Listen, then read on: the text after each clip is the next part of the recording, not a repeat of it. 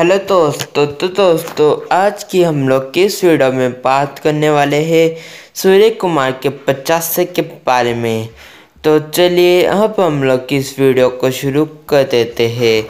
तो दोस्तों, सबसे पहले मैं आपको बता देता हूँ कि सूर्य कुमार अपना डेब्यूट मैच खेल रहे थे दोस्तों डेब्यूट नहीं मतलब दूसरा मैच खेल रहे थे, लेकिन बैटिंग वो पहली बार कर रहे थे और अपनी पहली बैटिंग करते हुए पहली बॉल पे उन्होंने एक बड़ा छक्का चढ़ दिया था। तो चलिए दोस्तों, ये तो बात कर ली उन्होंने पहले बॉल पे क्या किया था। तो अब हम लोग बात कर लेते हैं उनके पूरे के पूरे पचासे के बारे में। तो दोस्तों, सूर्य कुमार का पचासा सिर्फ़ और सिर्फ़ अट्ठाईस गेंदों में बना था।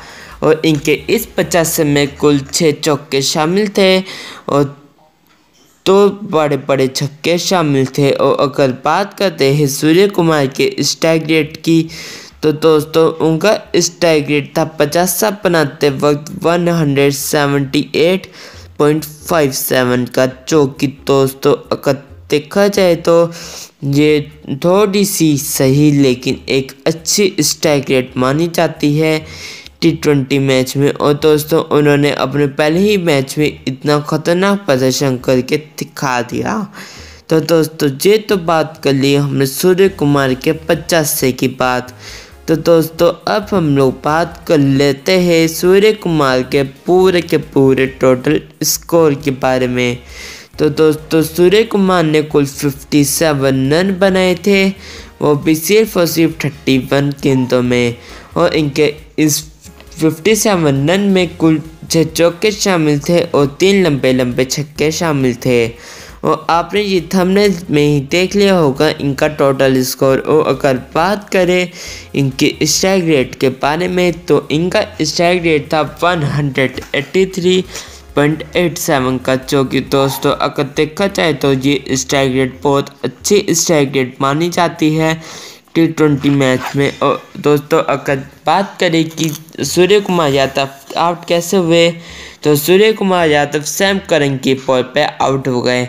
सूर्य कुमार एक बड़ा ओवर करना चाहते थे। सैम करन की पहली बॉल पे उन्होंने छक्का चढ़ दिया था।